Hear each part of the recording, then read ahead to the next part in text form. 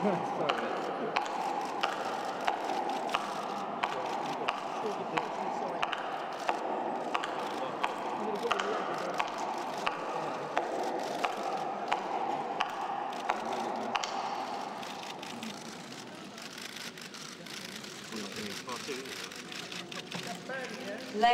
and gentlemen, the greatest milliner in the world, Philip Tracy.